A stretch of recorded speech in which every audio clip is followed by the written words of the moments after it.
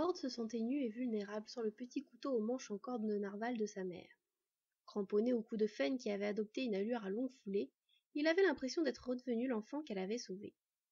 Bien plus confortablement loti que les autres qui volaient ou couraient à la suite de la grande louve, le demi-elfe laissa son esprit battre la campagne.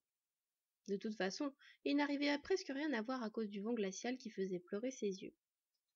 Il ne doutait pas que son frère réussirait à retrouver à la fois Scad et à la fois ses biens dérobés par les geôliers de la Reine des Neiges. Il se demandait en revanche si Siegfried réussirait à les rattraper avant qu'eux-mêmes ne rejoignent le cortège qui accompagnait le cœur d'Ule. Fen leur avait dit qu'il ne mettrait que quelques heures à rattraper ce convoi, car même s'il l'avait vu quitter le château la veille, un groupe de cette taille ne se déplaçait pas rapidement, contrairement à la louve. Il jeta un coup d'œil en arrière. Sylvaig, sous forme de renarde, galopait de toutes ses forces pour rester à la hauteur de Fen. Mais elle tirait déjà la langue de fatigue, elle courait trop vite pour pouvoir maintenir l'allure très longtemps.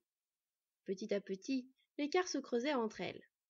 Borde, qui connaissait fort bien la nature entêtée des jumelles renardes, s'inquiétait qu'elle ne dépasse ses limites. Fen appela-t-il. Fen, arrête-toi un moment. Pour quelle raison? s'enquit celle-ci sans ralentir. Nous allons semer Sylveig, l'informa-t-il suffisamment doucement, espérait-il, pour que la concernée ne l'entende pas. Elle se vexerait. Je crains qu'elle ne succombe à la course, ajouta-t-il dans un souffle. La louve jeta un bref coup d'œil en direction de la rouquine. Elle soupira et daigna finalement s'arrêter. Hé hé, Svart, pourquoi nous arrêtons-nous? s'enquit Murk. J'espère que c'est parce que c'est l'heure de manger. Tais-toi, lança machinalement Svart tandis que les deux corbeaux se posaient sur la tête de Fen. Ce n'est pas encore l'heure de manger. Sylveg, tu nous ralentis. Reprends forme humaine et monte sur mon dos, asséna brusquement la louve. Trouva l'entrée en matière un peu brutale, mais Fen ne devait pas avoir envie de se perdre en argumentation. Et elle avait employé ce ton si particulier qui ne souffrait aucune réplique. La renarde s'aplatit sur le sol en ouvrant de grands yeux ronds de surprise, les oreilles plaquées en arrière comme si la louve venait de la mordre. Allez, l'exhorta cette dernière, nous n'avons pas de temps à perdre. Après un petit jappement plaintif, Sylvain se métamorphosa, bondit lestement sur le dos de Fen et se cramponna au demi-elfe. Tandis que la louve se mettait de nouveau en route sans plus attendre et que les corbeaux reprenaient leur essor, il tapota gentiment les mains de la petite vanne qui lui en serrait la taille. En réponse, elle se serra plus fort et posa sa tête contre son dos, se laissant bercer par la cadence régulière de leur monture. Fen avait beau être immense et très forte, Borde se demandait tout de même comment elle parvenait à galoper à une telle vitesse dans la neige alors qu'elle se retrouvait encombrée de deux corps à taille humaine. De plus, même si cela faisait déjà plus de deux heures qu'elle filait dans la direction estimée du cortège de la Reine des Neiges, elle ne montrait aucun signe de fatigue. Son rythme paraissait imperturbable, et elle donnait l'impression de pouvoir continuer ainsi sans s'arrêter jusqu'à la fin des temps. L'allure de voyage des loups pressés, disait-elle parfois. Un sourire humble fleurit sur le visage de Borde. Il ne pouvait toujours pas s'empêcher d'admirer sa protectrice comme au premier jour, même après toutes ces années. Le jeune homme balaya le paysage autour de lui. Partout s'étendait une plaine neigeuse à perte de vue. En plissant les yeux, il distingua une fine ligne noire à l'horizon sur sa droite. Il devait s'agir d'une forêt, supposa-t-il. Borde n'avait pas vu tant de plantes que cela depuis qu'ils étaient arrivés dans ce monde de neige. Il se demandait si l'hiver était perpétuel ici. Puisqu'il avait déjà vu des bosquets et autres arbres plus ou moins solitaires, il présuma que ce ne devait pas être le cas, même si Loki avait qualifié ce monde de froid éternel. Le demi-elfe se méfiait de ce Loki. Il ne ressemblait pas totalement à un as, et sa personne dégageait une aura tantôt espiègle et tantôt menaçante. Il se demanda pourquoi un as aussi sage qu'Odin s'infligeait sa compagnie. Le dénommé Loki avait lui-même avoué être un voleur. Comment pouvait-on se fier à un voleur? Certes, les jumelles Sylveig et Scad étaient entièrement hâtes à crocheter les portes, se déplacer furtivement dans les ombres et, et voler sans se faire prendre. Mais elles n'étaient pas comme Loki. Elle n'était qu'espièglerie et gentillesse, elle, alors que Borde n'était pas certain que l'as voleur ait le même bon fond que les petites renardes. Un changement dans le rythme de la louve le tira de ses pensées. Elle avait ralenti. Que se passe-t-il, Fen s'enquit le jeune homme. J'ai besoin d'une petite pause, expliqua la vanne en passant un petit trou. Je ne sais pas comment vous nourrit Beyla, mais vous pesez votre poids tous les deux. Ce doit être à cause de ma musculature d'acier de forgeron, soupira Borde d'un air théâtral. C'est lourd, l'acier. Pas autant que ton esprit, rétorqua malicieusement Sylveig qui venait de sortir de sa torpeur. Je ne te permets pas, fit mine de s'offusquer le demi-elfe. Tu me dois le respect, je suis ton aîné. Un peu comme tu respectes ton frère aîné Siegfried pointa la renarde avec toute l'innocence du monde. C'était un coup vraiment bas, ça, Ginny Bord au moment où Fen s'arrêtait. Les deux cavaliers glissèrent du dos de la louve pendant que Svart et Murk en profitaient pour se poser et reposer leurs ailes, et elle s'ébroua. Elle mangea un peu de neige pour se désaltérer et se roula dedans avant de s'ébrouer une nouvelle fois, projetant des gerbes de neige dans tous les sens. Il ne lui fallut que quelques minutes de répit pour être à nouveau prête à partir. L'endurance légendaire des loups fascinait Bord. Dépêchez-vous, sinon nous ne les rattraperons jamais, les exhorta Fen. Ils obtempérèrent immédiatement, mais alors que la louve reprenait sa course d'endurance, le demi-elfe sentit que Sylvain regardait en arrière, cherchant désespérément à voir sa sœur pour laquelle elle s'inquiétait.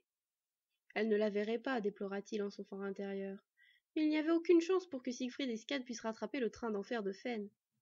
Bord commençait à s'interroger à propos de ce que comptait faire la louve une fois qu'elle aurait rejoint le cortège de la Reine des Neiges. Puisqu'elle ne semblait pas avoir l'intention d'attendre Siegfried, quel était son plan? Il le lui aurait volontiers demandé, mais la bise glaciale l'enjoignait plutôt à garder la bouche fermée pour éviter de gaspiller bêtement de la chaleur. C'est alors qu'il remarqua que l'air avait changé. Il jeta un coup d'œil en direction du ciel et constata qu'il était pratiquement noir. Presque en même temps, il réalisa que Fen avait arrêté de faire une course d'endurance pour passer en course de vitesse. Les corbeaux, ayant du mal à voler avec le vent qui se levait, se réfugièrent bientôt dans le giron du demi-elfe. Sylveg attira son attention en direction du côté gauche de la louve. Un rideau de neige s'avançait vers eux, implacable et mortel. Inquiet, le jeune homme tourna la tête de tous les côtés à la recherche d'un abri. Mais dans cette immense plaine qui s'étendait à perte de vue, rien ne pouvait les protéger. Au moment où la tempête les rejoignit, Fen fit brusquement tomber ses cavaliers par terre et se roula en boule autour d'eux, leur offrant le seul refuge qu'elle avait pu trouver dans cet environnement nu. Enfouie entre la neige qui recouvrait le sol avant même la tempête et la fourrure de la louve qui leur faisait rempart de son corps, Bord, Sylveg et les corbeaux se retrouvèrent comprimés les uns contre les autres. La renarde, n'ayant pas la place de reprendre sa forme animale, beaucoup plus grande qu'un renard classique, se tortilla pour se pelotonner confortablement contre le demi-elfe. Elle entoura de ses bras et enfouit son visage contre la poitrine du jeune homme. Celui-ci l'entoura de bras apaisants. Il la sentit se détendre imperceptiblement. Ils patientèrent ainsi blottis l'un contre l'autre, se réconfortant par leur présence mutuelle que la tourmente passe. Cela parut une éternité à bord, qui se demandait comment Fen tenait le coup. La tempête hurlait tout autour d'eux, et même dans leur nid de neige et de fourrure, le froid s'insinuait. Sylvain frissonna et se serra plus fort contre le demi-elfe qui lui rendit son étreinte. Bientôt, ils ne virent plus rien, la neige bloquant totalement l'arrivée de la lumière. Ils restèrent ainsi dans le noir, tous silencieux. Bord ne percevait plus que la forte odeur animale de la louve et celle, plus discrète mais omniprésente, de la neige. Il remarqua qu'une troisième senteur prenait de l'importance, celle des cheveux de la renarde blottie contre lui. Il était également tout à fait conscient de la présence et de sa chaleur qu'elle partageait avec la sienne à lui. À part les odeurs et le corps de la jeune fille pressé contre lui, il ne ressentait rien d'autre. Est-ce que, dehors, la tourmente continuait de se déchaîner? Cela faisait des heures qu'ils étaient là, lui semblait-il. Il savait qu'il s'agissait d'une illusion. Il ne supporterait pas d'attendre ainsi impuissant encore très longtemps. Pour tromper l'ennui, il se mit à caresser machinalement la chevelure rousse de sa compagne. Un rire impromptu brisa soudainement le silence presque surréaliste qui y régnait jusqu'alors. Bord reconnut immédiatement la voix si caractéristique de Murk. Ah ah gloussait ce dernier. Je me demande si le cortège de la Reine des Neiges est pris dans la neige. Ce serait cocasse, n'est-ce pas, Svart Écoute, Murk, soupira l'interpellé. La situation est déjà suffisamment inconfortable sans que tu en rajoutes avec tes élucubrations. Qu'est-ce qui est inconfortable? s'étonna le corbeau un peu simplet. Je suis bien installé, moi petit bord est plutôt confortable, je trouve. Ce n'est pas ce que je voulais dire, la chasse-farte exaspérée. Que voulais-tu dire alors? s'enquit son frère. Rien. Mais si, persista Murk. Sinon tu n'aurais pas ouvert ton bec. Ferme le tien, ordonna Svart. Si je fais ça, je ne pourrai plus parler, raisonna le corbeau simplet. Tant mieux, comme ça peut-être pourrons-nous enfin profiter du silence. La patience de son frère semblait être à bout. Bord, quant à lui, sourit en les entendant se chamailler. Cela aurait pu lui porter sur les nerfs, mais il se sentait étrangement détendu. Maintenant que le silence était revenu, parfois entrecoupé par des ronchonnements de Murk qui se sentait un peu brimé de ne pouvoir s'exprimer, le demi-elfe s'aperçut que la respiration de Sylvain s'était faite régulière. Elle s'était sans nul doute endormie. Les inspirations et expirations de Fen, juste sur eux, étaient elles aussi régulières. L'une ou l'autre de ses pattes arrière, sur lesquelles ils étaient en partie posés, bougeait de temps à autre. Sans cela, Bord se serait très certainement inquiété pour elle. Il ne savait pas comment la louve faisait pour supporter un blizzard pareil en plein sur son dos. Les frères Corbeau se seraient fait balayer. Sylvègue aurait peut-être survécu en se creusant un trou dans la neige, et lui-même serait probablement mort de froid ou étouffé par la force des vents qui s'acharnaient en dehors de leur abri. Même si Murk disait beaucoup de bêtises, le demi-elfe songea qu'il n'avait pas tort à propos du cortège de la Reine des Neiges. Même si certaines des créatures qui composaient ce convoi étaient aptes à survivre dans le grand froid, comment faisaient ceux des humains qui le composaient? S'ils avaient des abris, étaient-ils suffisamment solides pour tenir face aux bourrasques d'une telle violence? Borde sursauta. Il se rendit alors compte qu'il s'était endormi au milieu de ses pensées, enveloppé de chaleur lupine. Sylvec dormait toujours à point fermé, blotti contre lui, et aucun des deux corbeaux n'émettait plus le moindre son.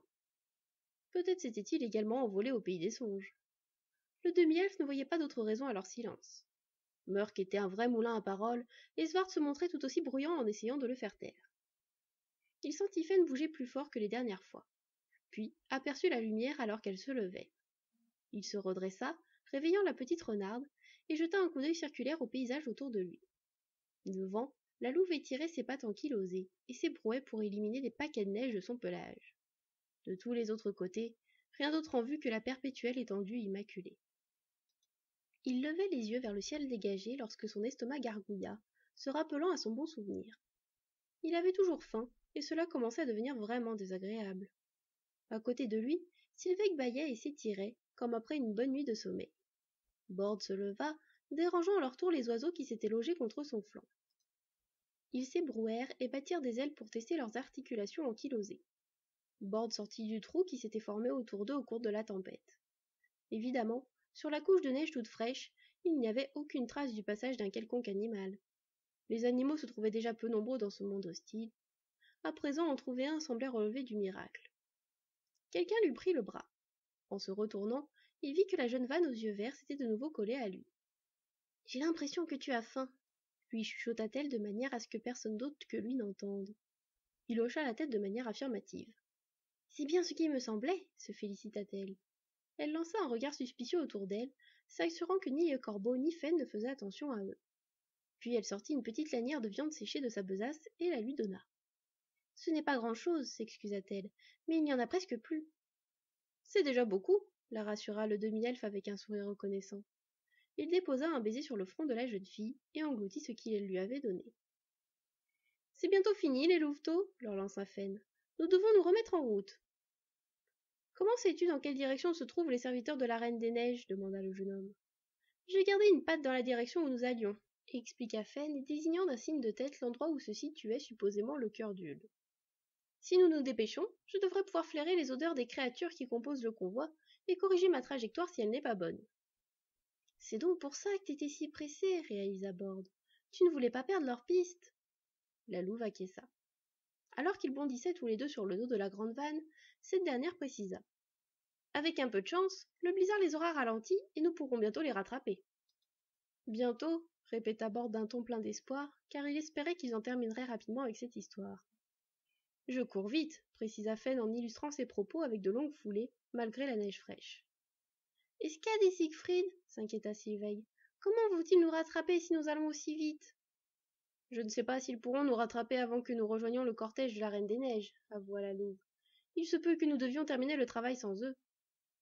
Nous allons récupérer le cœur d'Ul sans Siegfried s'étonna de nouveau le demi-elfe.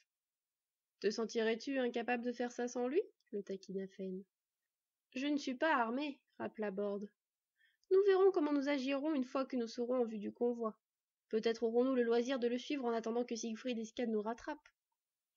Borde se demandait s'il s'agissait d'une plaisanterie de loup. Comment pouvait-elle penser laisser Siegfried en dehors de cet acte primordial? Bien évidemment, lui-même se sentait tout à fait capable d'accomplir ce pourquoi ils étaient venus, malgré sa mésaventure qui l'avait conduit dans un cachot de la Reine des Neiges.